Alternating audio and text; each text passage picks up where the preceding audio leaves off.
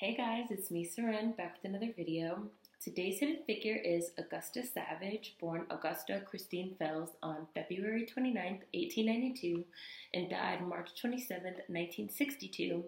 And she was a black American sculptor associated with the Harlem Renaissance. She was also a teacher who worked for equal rights for black Americans in the arts. Augusta Christine Fells was born in Green Cove Springs near Jacksonville, Florida, on February 29, 1892, to Edward Fells, a Methodist minister, and Cornelia Murphy. Augusta began making figures as a child, mostly small animals. Her father was a poor Methodist minister who strongly opposed his daughter's early interest in art. My father kicked me out four or five times a week, Savage once recalled, and almost whipped all the art out of me. She persevered, and the principal of her new high school in West Palm Beach where her family relocated in 1915, encouraged her talent and allowed her to teach a clay modeling class. This began a lifelong commitment to teaching as well as to creating art. In 1907, Augusta Fells married John T. Moore. Her only child, Irene Connie Moore, was born the following year. John died shortly thereafter.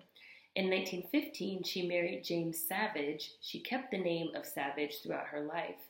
After their divorce in the early 1920s, Augusta Savage moved back to West Palm Beach.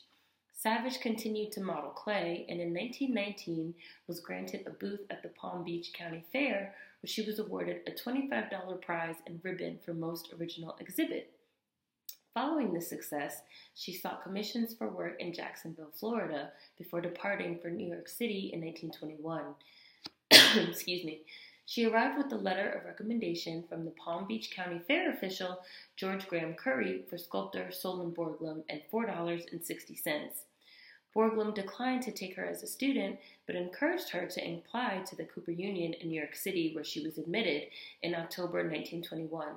She was selected before 142 other men on the waiting list. Her talent and ability so impressed the Cooper Union Advisory Council that she was awarded additional funds for room and board when she lost the financial support of her job as an apartment caretaker. From 1921 through 1923, she studied under sculptor George Brewster. She completed the four year degree course in three years. In 1923, Savage applied for a summer art program sponsored by the French government. Although being more than qualified, she was turned down by the International Judging Committee solely because she was black.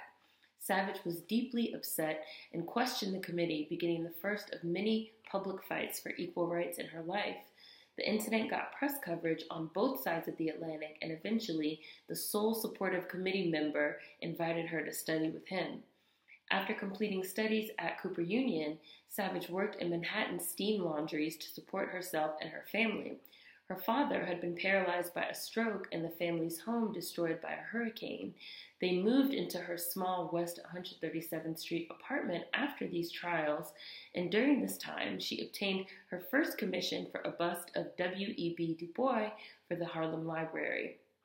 Her outstanding sculpture brought more commissions, including one for a bust of Marcus Garvey. Her bust of Williams Pickens Sr., a key figure in the NAACP, earned praise for depicting a black American in a more humane and neutral way as opposed to the stereotypes of her time, as did many of her works. In 1925, Savage won a scholarship to the Royal Academy of Fine Arts in Rome. This scholarship covered only tuition, and she was not able to raise money for travel and living expenses, thus, she was unable to attend. In 1929, with pooled resources from the Urban League, Rosenwald Foundation, a Carnegie Foundation grant, and donations from friends and former teachers, Savage was finally able to travel to France to study when she was 37. While her studio was initially encouraging of her work, Savage later wrote that the masters were not in sympathy as they all have their own definite ideas and usually wish their pupils to follow their particular method. She began primarily working on her own in 1930. Knowledge of Savage's talent and struggles became widespread in the black American community. Fundraising parties were held in Harlem and Greenwich Village, and black American women's groups and teachers from Florida A&M all sent her money for studies abroad. She ended up touring France, Belgium, and Germany, researching sculpture in cathedrals and museums. Savage returned to the United States in 1931, energized from her studies in Europe. The Great Depression had almost stopped art sales in the United States, but she pushed on and in 1934 became the first black American artist to be elected to the National Association of Women Painters and Sculptors. She then launched the Savage Studio of Arts and Crafts, located in a basement on West 143rd Street in Harlem. She opened her studio to anyone who wanted to paint, draw, or sculpt, and her many young students included the future nationally known artists Jacob Lawrence, Norman Lewis, and Gwendolyn Knight. Her school involved, evolved excuse me, into the Harlem Community Center. 1,500 people of all ages and abilities participated in her workshops, learning from her staff and showing work around New York City. Funds from the Works Progress Administration helped, but old struggles of discrimination were revived between Savage and WPA officials who objected to her having a leadership role. Savage received a commission from the 1939 New York World's Fair. She created Lift Every Voice and Sing, also known as The Harp, inspired by the song by James Weldon and Rosamond Johnson. The 16 foot tall plaster sculpture was the most popular and most photographed work at the fair. Small metal souvenir copies were sold, and many postcards of the piece were purchased. However, Savage did not have the funds to cast it in bronze or to move it and store it. Like other temporary installations, the sculpture was destroyed at the close of the fair.